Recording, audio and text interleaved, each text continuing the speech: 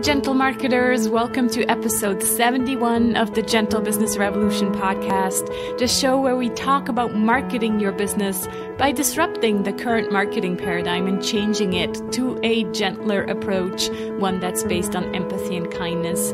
As always, always, I'm Sarah Santacroce. I'm your host here, and you know that you're in the right place if you are a heart centered entrepreneur or change maker who is looking for a different, a better way to market your business. Or you might also be a marketing impact pioneer. So that's someone who's working in a company, maybe in the marketing department, and you're looking also uh, for different ways to market. Today's episode falls under the P of pricing.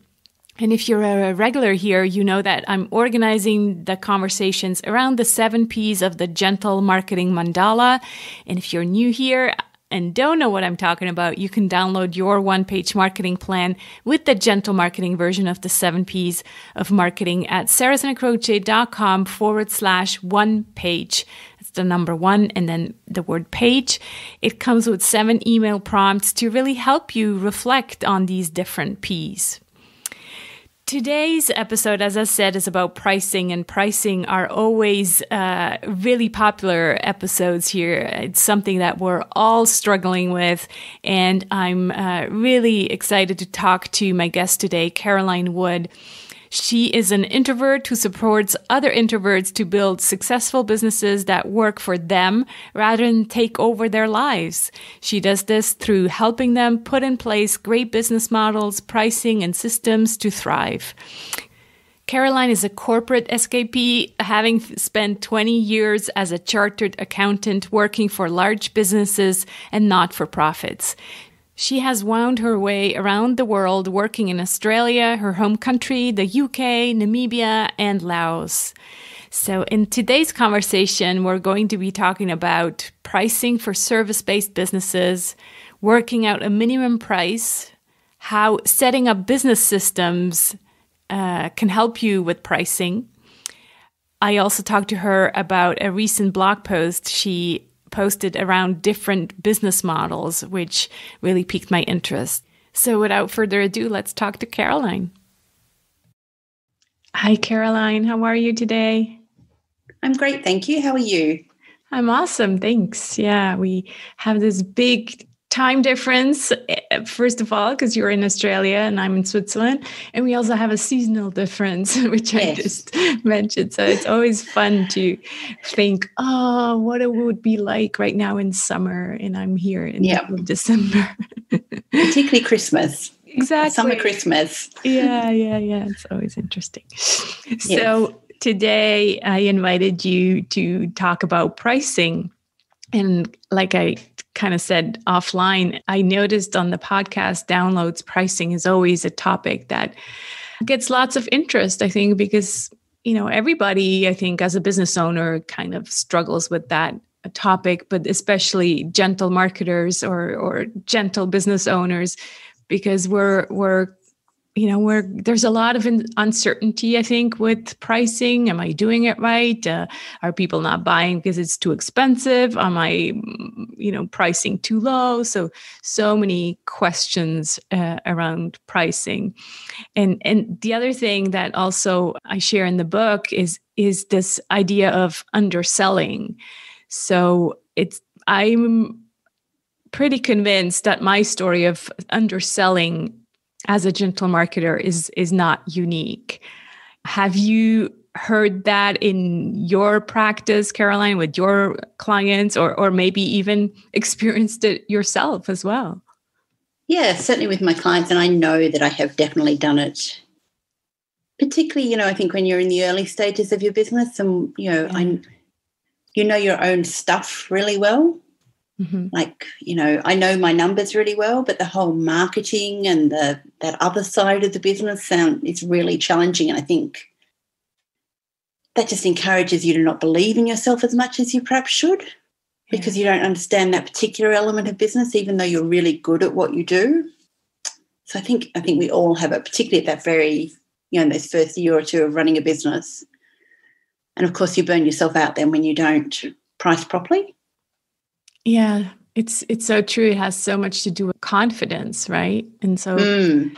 that's why yeah that's why maybe we lower our prices because we don't think our, of ourselves as being worthy you know for higher prices. Is that what you see as well?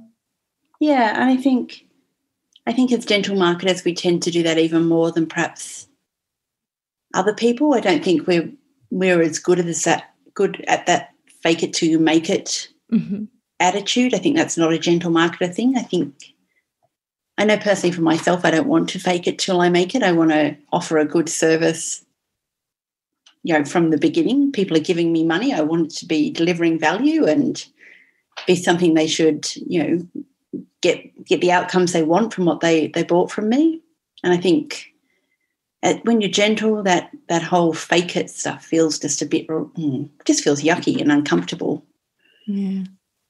So how do we you know price gently or or you call your service practical prices so how yeah. do we price our services or or offers in a practical way in a gentle way without burning out because i think that's part of the underselling is is that if we undersell our services then we end up constantly working because we have mm. to hmm. get so many client bring in so many clients to still you know have a sustainable business so how can we you know have a sustainable business make a good income that is enough for us or or maybe a bit more than enough and and and, and therefore also you know prevent the whole burnout idea. And and, and really as introverts especially we need a certain quiet time. And we know that you know working constantly especially with one-on-one clients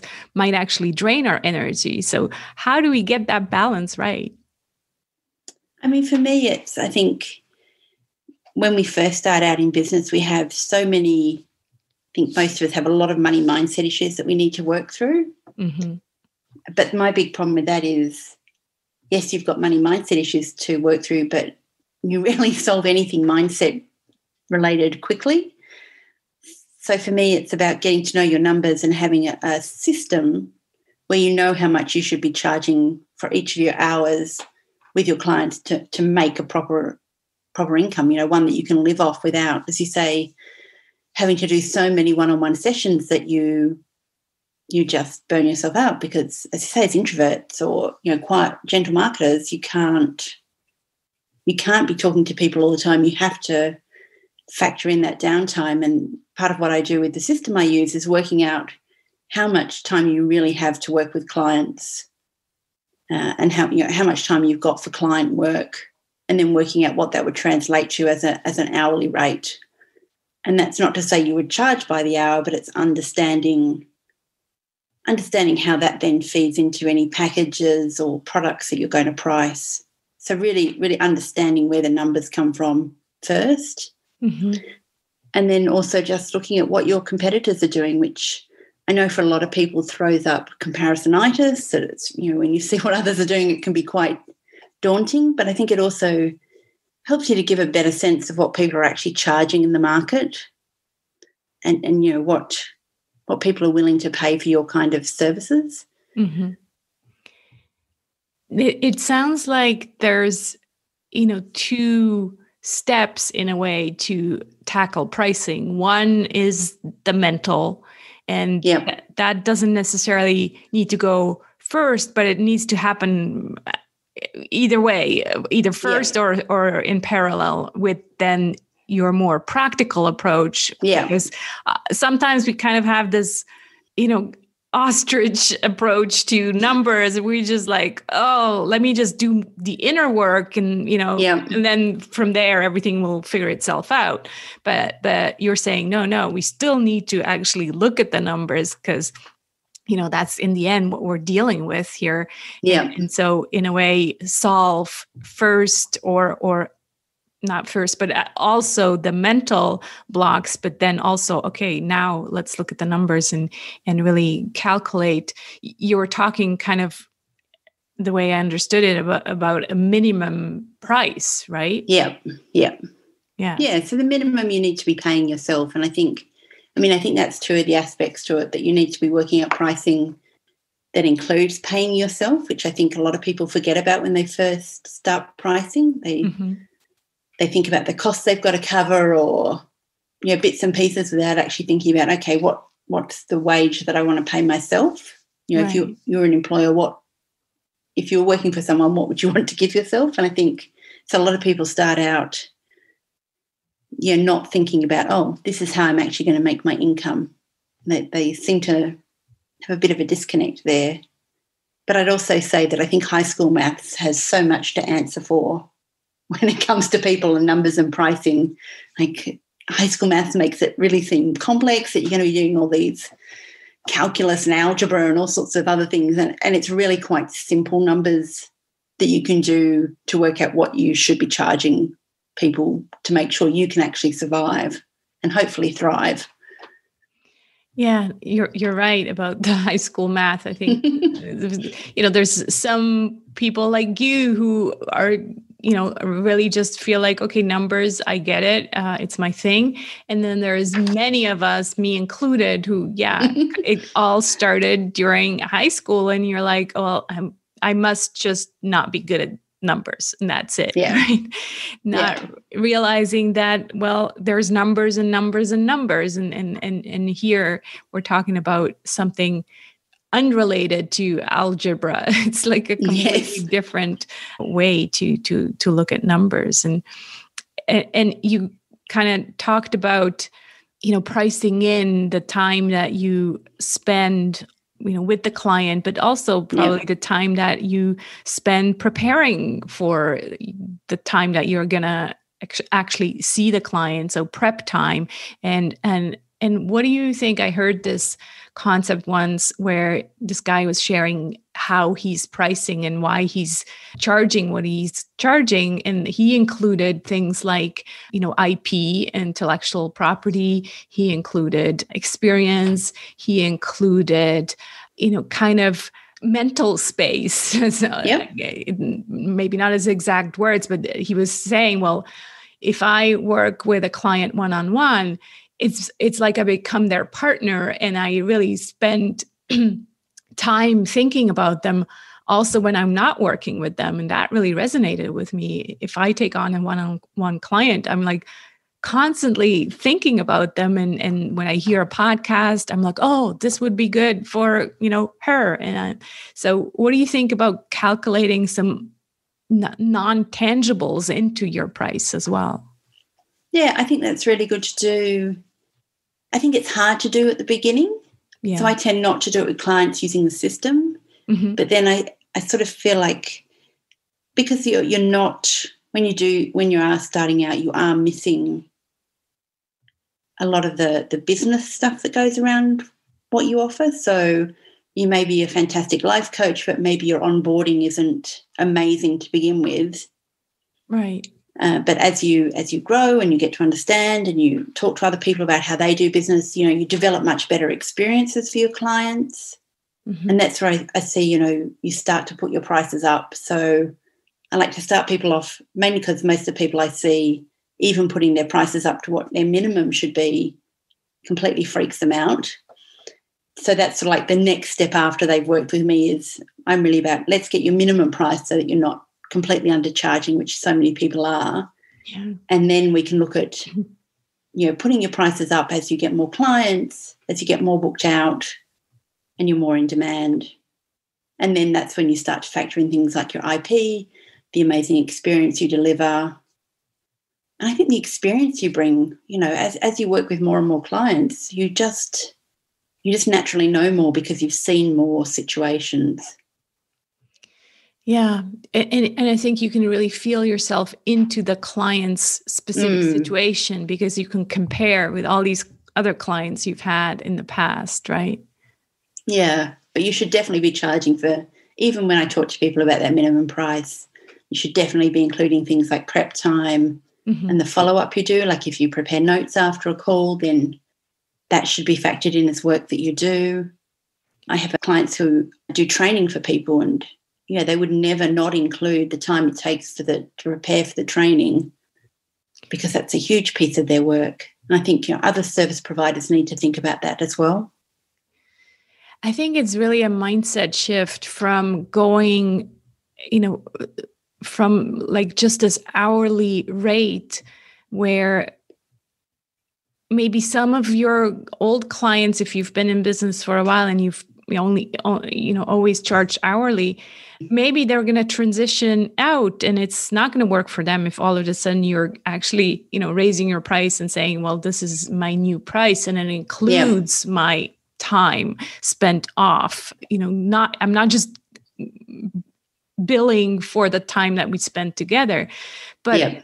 if once you're there with this new price i think you're going to feel much better what I, what i noticed and i share in the underselling story is also almost like there's this frustration when working with clients and not feeling like you're getting paid well enough for the service you're you're um, offering you know what i mean when it, when it's like i do i feel like i'm giving so much and yet i'm kind of stuck with this hourly price that it gets to a resentment almost yeah. towards your yeah. Oh, clients oh, definitely that that is just a shame because you're in business to you know to do good work and and, and find joy and and really delight with your clients as well.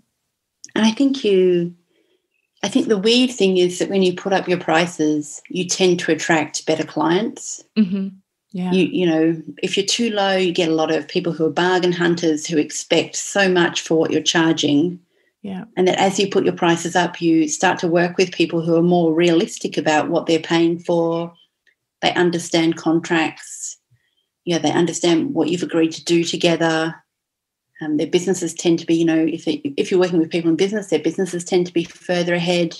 Yeah. Um, if you're charging more, you know, if you're a wellness person and you're charging more, you're probably finding you're getting people who are more committed to the process than someone who's who's only paying a really low low amount not always. Obviously, there's some, you know, a lot of people who can't afford really high prices, but they're still really committed. But I just find that as you put your prices up at least a bit, you attract clients who actually value your work a lot more than those who are just looking for the lowest price possible. I'd agree. I noticed that whenever I had in the past, you know, had a sale on, you would get more sales, but mm. then you'd also get more problems meaning people were you know much more picky about things and and and yeah it was just like problem after problem. And and, and mm. again it led to frustration because i'm like i'm giving you this great deal. And and now you know i end up with more problems. So obviously yeah it was all me because i put up the sale where maybe sales are they're okay sometimes, but you need to be careful to not become this business who only basically sells while you have a discount or a sale on, because then yeah. that also kind of impacts your your brand and, and reputation. I would say. Yeah, I think sales can work well if it's like you know I've done with that that you're part of the introvert marketing bundle, where mm. they're courses that don't require the people who take part, who you know offer their courses as part of the bundle, to then do X. You know, it's no there's no one-on-one work right as part of that. Yeah. I think sales can work. Yeah, can be okay then, but I think as soon as you start discounting your price and it relates to your actual time, that's when you start to go down a slippery slope. Yeah. I mean, there's always exceptions, like if you want to do pro bono work for a charity or you know, something, you know, cause you really believe in. There's always, you know, you've always got exceptions to anything, but I think as a as a general rule, I don't recommend discounting if it relates to your time. I love that that you bring that up because what I noticed is once you actually do make you know good money and you feel good about receiving the, that level of of income, then you are much more open to then also do pro bono work for certain mm. projects that just you know bring you joy. And you're like of course i will do this for free. Where Yeah. before i found myself in the situation where it's like i'm doing everything for free.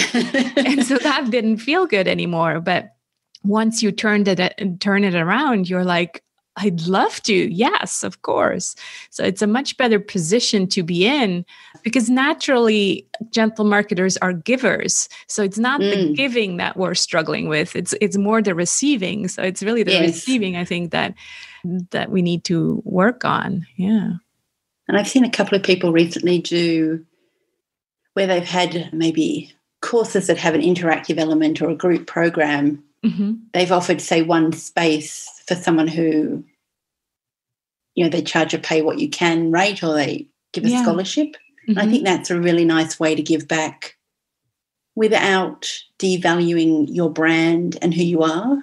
yeah So you still get to support people and be that gentle marketer you want to be yeah while not actually damaging your business at the same time.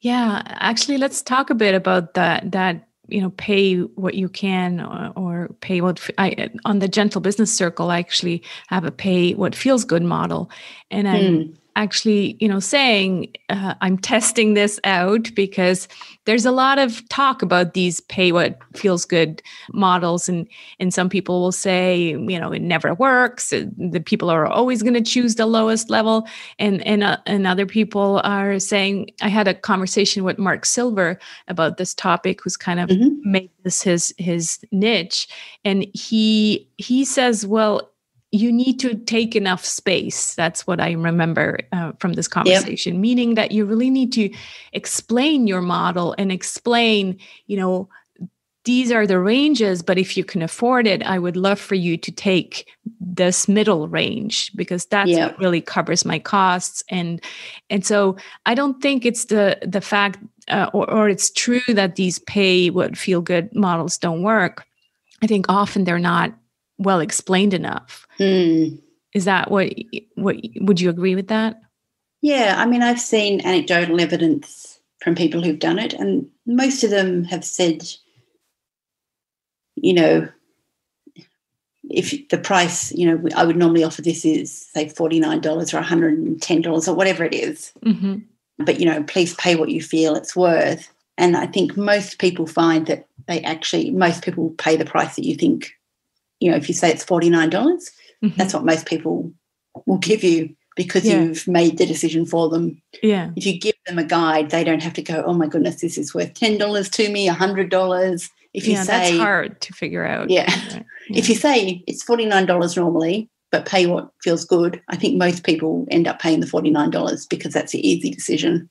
right yeah yeah it's interesting i'll i'll, I'll report back after Yeah. Interesting to hear. yeah I think generally people don't like making decisions. So if you give them the answer, yeah they really like that. yeah that's interesting yeah there's this saying time is money what comes Mm. up for you when when you hear that I think for me, it's that for a lot of us, time is money. We just don't realize it. I mean, I really, one of the things I really hate is the term passive income hmm because there's absolutely nothing passive about it. Yeah. It's, you know, just, so for, you know, it's, it's how do you use your time to make money in the best way for you, I think is what it comes up for me. uh-huh. and whether you want to pay someone else to do something so you have more time for something else. So it's always that trade-off, I think, of if you you know, if you don't have much money, then you've got time. And if you have a lot of money, then you can buy more time. that's interesting yeah basically outsource and and uh, Yeah. Yeah. What what also comes up for me and and I I think that also relates to to what you're offering is is systems. Because I think if we put in place systems that reduces the amount of time for certain things Yeah. that maybe we don't need to actually spend on if we have Yes, a system in place, right? Yeah. What, what what are some examples of, of systems that that you put in place or help your clients with?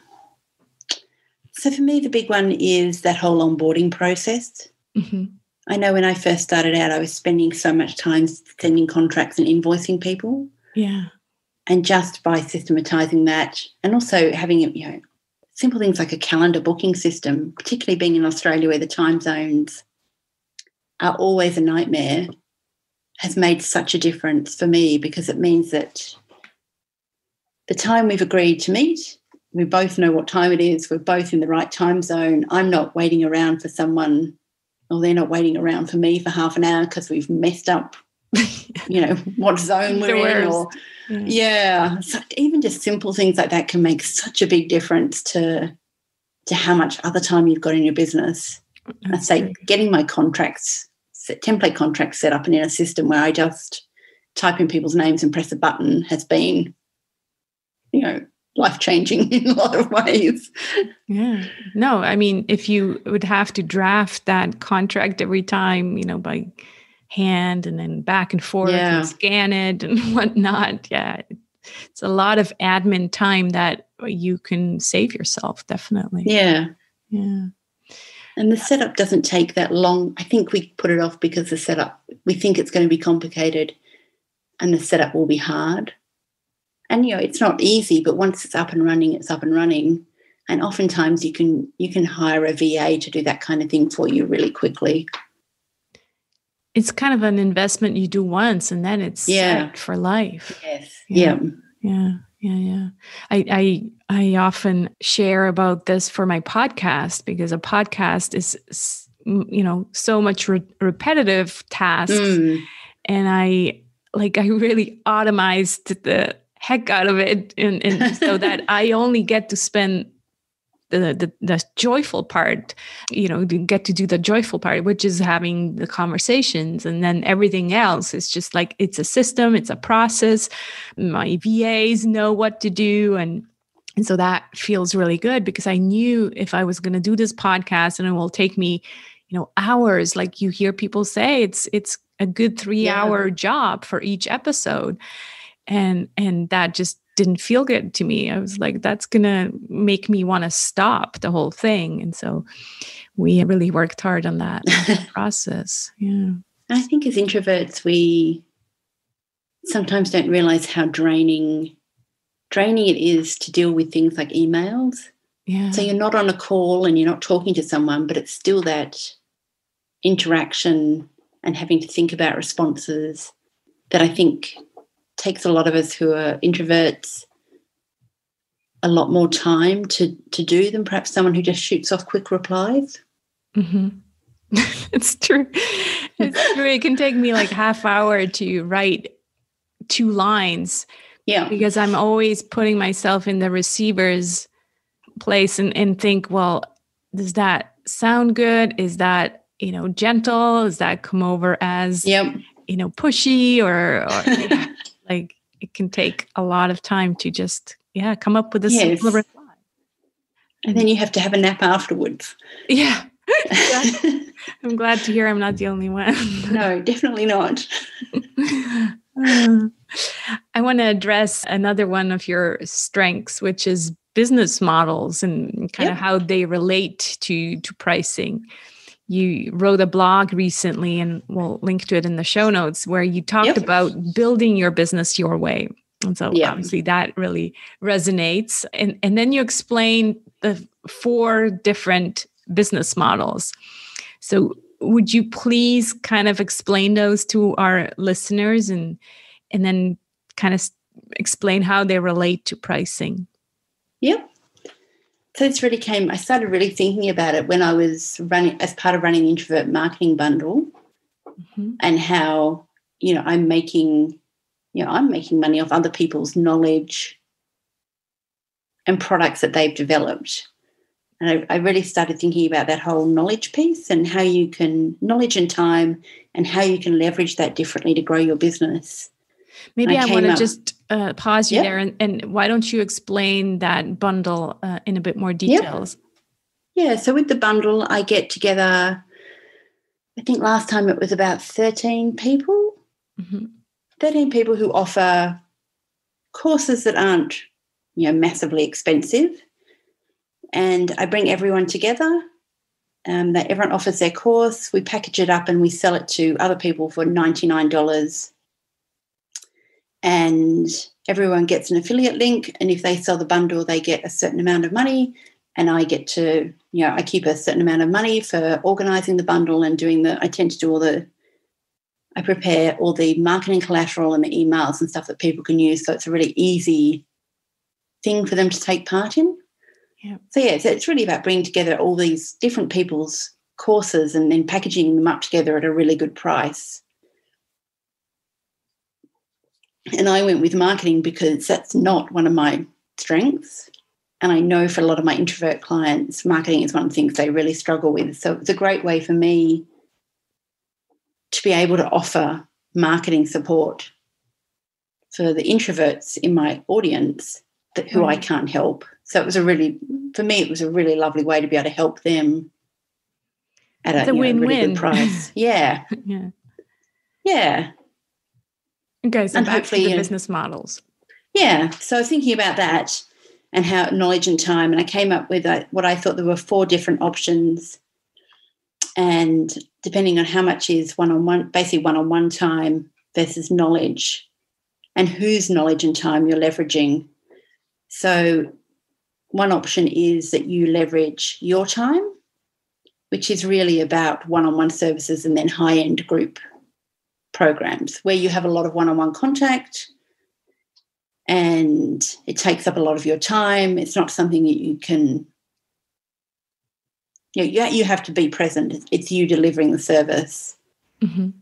And then the other side of that is where you leverage more of your knowledge than your time, and it's things like online courses where you might still, you know, you'll still be there, you're still maybe contributing in a Facebook group, but it's not the same intensity as the first option.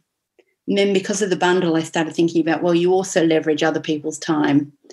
And so that high end one on one service then becomes more of an agency model where you're hiring people who then deliver that one on one service to your clients. Mhm. And I think a lot of businesses do that and they don't call it an agency.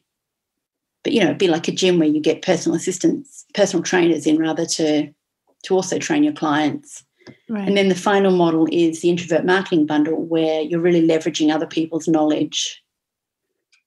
And the other options other than bundles are things like, you know, you might be an affiliate for a program, so you make affiliate money income, or you're seeing it more and more now with people organizing summits and selling VIP passes at the end.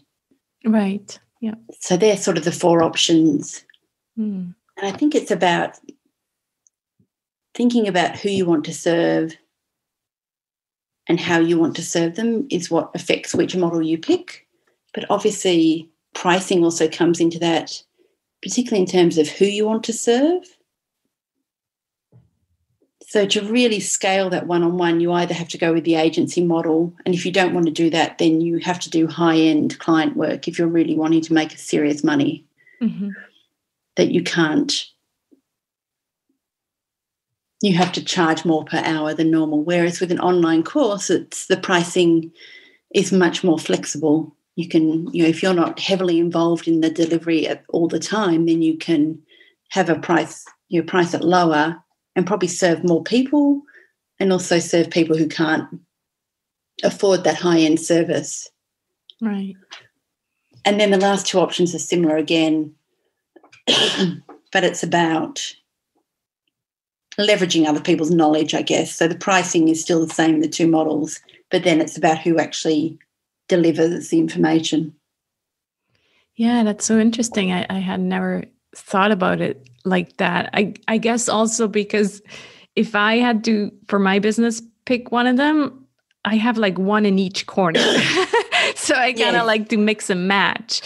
And I guess that applies because I have, you know, 12 plus years experience Yeah. Uh, if you're first starting out, I I I like the idea of kind of picking one and then making that your focus for maybe you know at least two years and and kind Yes. of building in in that corner and then why not yes then pick another one from another Yeah. corner and and kind of expand is Yeah. that kind of also what you what you're seeing because you're not only you're also working one-on-one with clients and and yes. you have the affiliate model so it's kind of a mix and match as well. Yeah and i think the affiliate model is easier to integrate into that one-on-one work than perhaps the others are.